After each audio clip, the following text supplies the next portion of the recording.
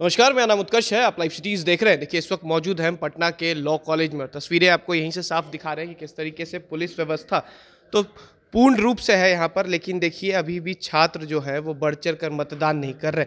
तीन सौ सतासी के करीब जो है यहाँ कुल मतदाता है, छात्र मतदाता है, लेकिन जिस तरीके से पटना विश्वविद्यालय का छात्र संघ का चुनाव चल रहा है, साफ़ लग रहा है कि यहाँ पर जो बच्चे हैं, वो बढ़ चढ़ कर सामने नहीं आ रहे हैं। हालाँकि देखिए, किस तरीके से व्यवस्था जो है, वो यहाँ पर पूरी की गई है कि किस तरीके से पोलिंग जो बूथ है, वो बना हुआ है, अंदर किस तरीके से मतदान होगा, वो तमाम तस्वीरें हम आपको दिखा रहे हैं। पटना लॉ कॉलेज की तस्वीरें हैं।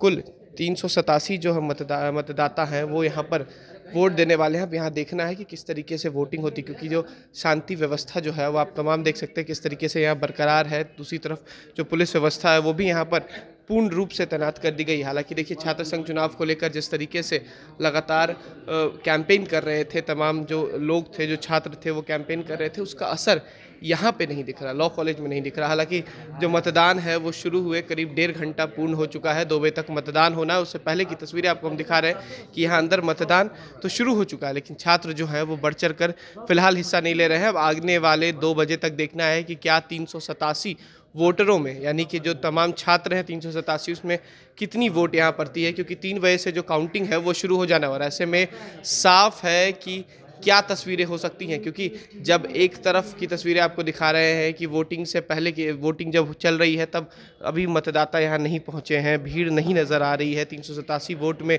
फ़िलहाल की बात कर ले तो तीन से चार वोट जो हैं, अभी पड़ चुके हैं, लेकिन तस्वीरें आपको साफ़ हैं कि यहाँ जागरूक लोग यहाँ ज़रूर खड़े हैं, लेकिन मतदान नहीं हो रहा है। और तीन, दो बजे तक जो है मतदान की आखिरी समय जो है, उसके बाद मतदान खत्म हो जाएगा और उसके बाद जो काउंटिंग है, वो शुरू हो जाएगी। आपको अलग की तस्वीरें हम चारों तरफ़ से लॉ कॉलेज की दिखा रहे हैं। ये पटना लॉ कॉलेज है। यहाँ की तस्वीरें आप साफ़ देख सकते हैं कि पुलिस व्यवस्था पूरी है।